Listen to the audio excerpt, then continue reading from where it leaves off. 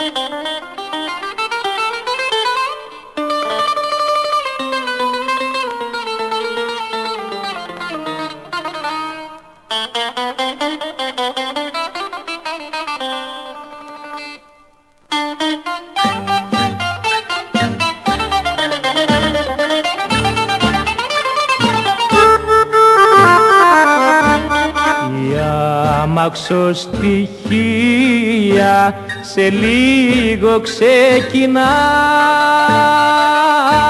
και πάνε οι μετανάστες σε μέρη μακρινά. Βλέπω τις μάνες στο σταθμό να λένε μάνα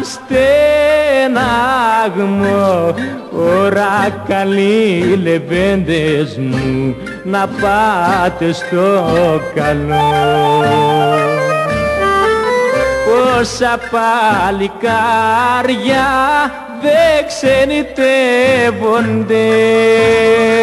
οι δόλιες τους οι μάνες σκληρά παιδεύονται.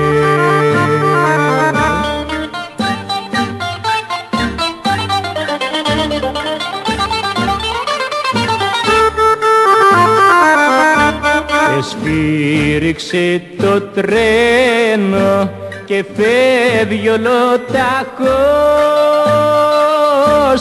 για πόσους δεν γυρίζει της μοίρας ο τροχός.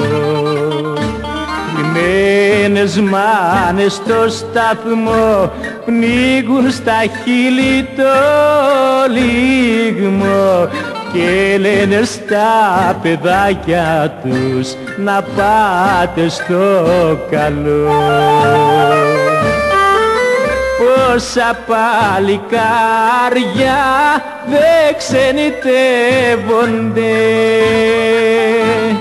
Κι οι δόλιες τους οι μάνες σκληρά παιδεύονται